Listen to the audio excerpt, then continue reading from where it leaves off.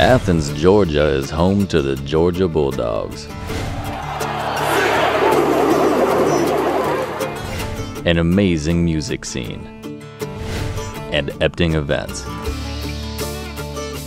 Just your average, everyday, family owned catering company that travels all over the place. This is their story. 40 years ago, Lee Epting started catering out of a train car, and there was no turning back.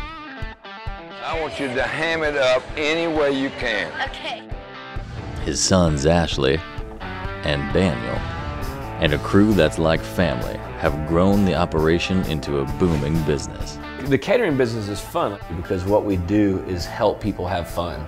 $300 for the Fountain of Youth. But like good entrepreneurs, there's always something else they'd rather be doing. I tell you, now that's fine looking. Oh, Get him, boy!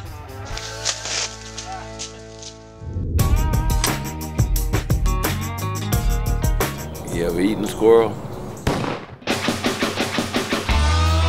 Whether it's Chef Janice in the kitchen Oh Yeah, black woman jumping, black woman jumping. Jeff running parties, In the 20 years I've been here, I, I speak Lee. I know where I'm going in my head, but my mouth doesn't keep up with my brain. Put, put that thing over there and put the thing on the thing. Go get the kitchen. Wipe that door and put it on the table. or E.T. keeping up with Linens. You know, it's family. You know, it's much more than a job. Somehow they always manage to keep it together and have some fun along the way.